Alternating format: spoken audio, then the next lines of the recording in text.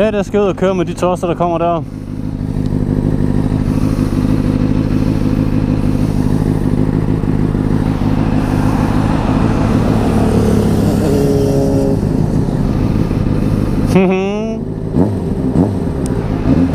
Men det er ikke sikkert, at jeg kan komme til at snakke med dem. Fordi at de er fire, de tre bikers, og så er de et kamera, Lasse han filmer fra.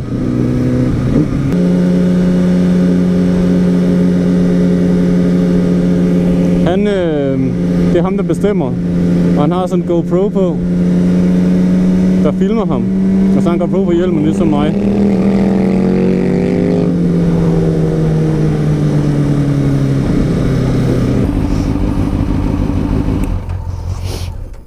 Jeg være bange for, at I var kørt videre. Nej. Fordi Jensens, de lukkede kl. 2. Vi vil ikke ind til Jensen. Nå. Jeg kunne bare høre jer på lang afstand. Han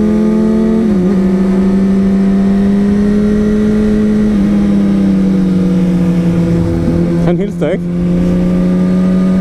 Nå, han finger er det rigtigt.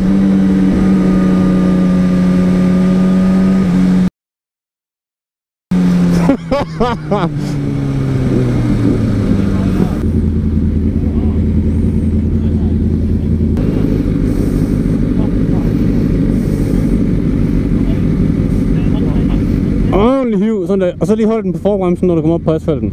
Og hiv, sådan der. Og så, yes, yes, sådan der.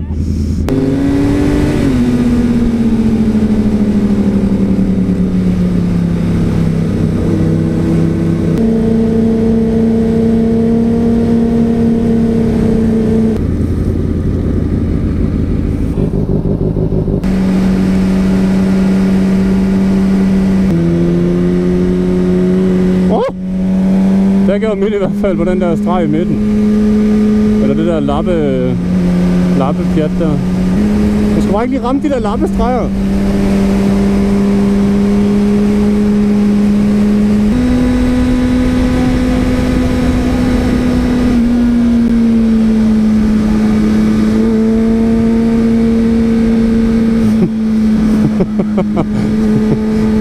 det er sådan en stresstest.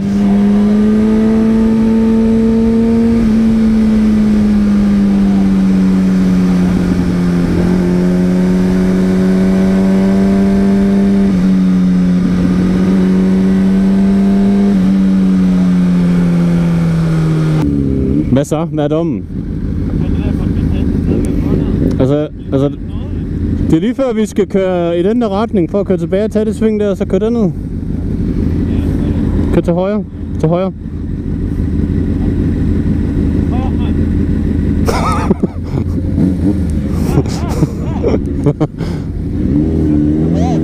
Nå ja. Uh! Ah! Åh, det er en lækker sving sådan. Man kan se hele rundt. Åh, så bliver det skarpt om.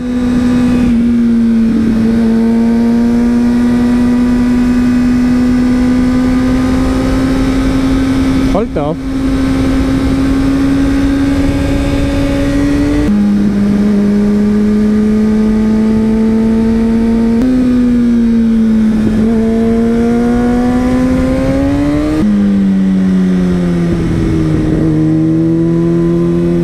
Hold da op en tur. Det var meget heldigt, at vi en tur.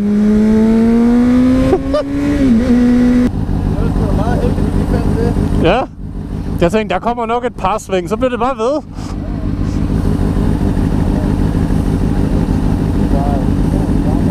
Ja. Hvad fanden var det for en bot nok? Åh. Oh.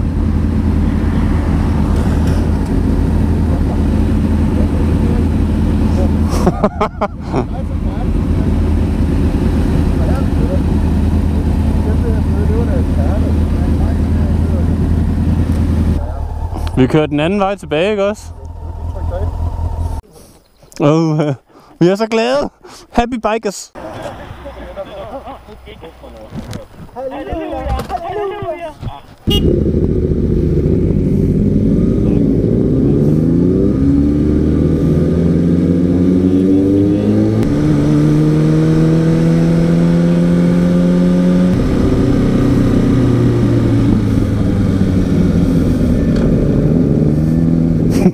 Så så varmen det meget pænt.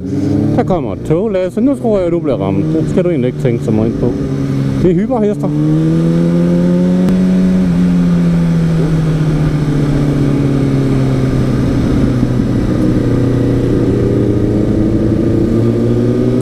Her havde Volkanen været nice, Lasse.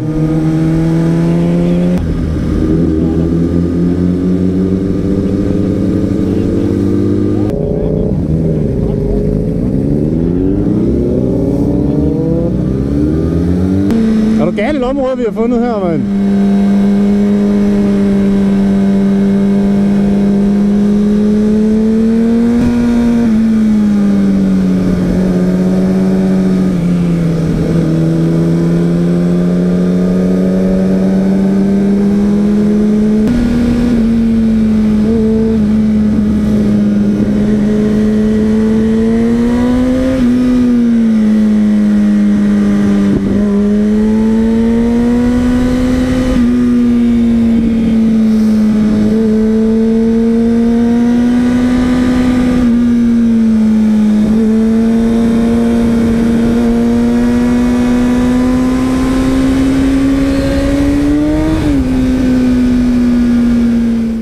Er det her?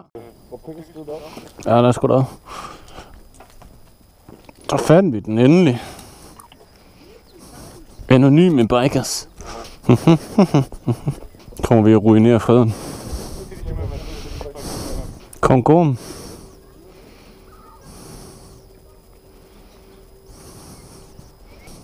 Jeg kan sgu ikke helt se, hvad for en fond det der er. Jo. Jellinge runer.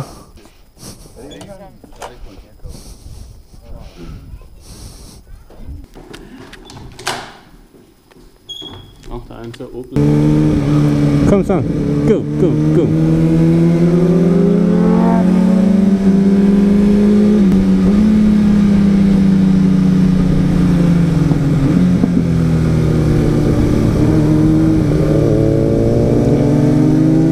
Men bremser forskellige steder. Det kan godt være, at jeg skal køre foran så.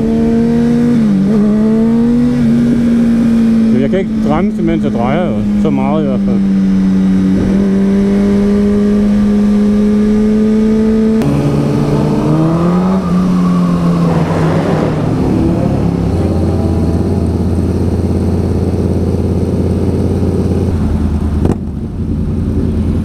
Vi skubber til venstre efter bryggen. Og jeg tænkte over det, når folk de dør, så lytter man til deres sange, og så øh, har det så betydet noget andet, end det, det egentlig betyder.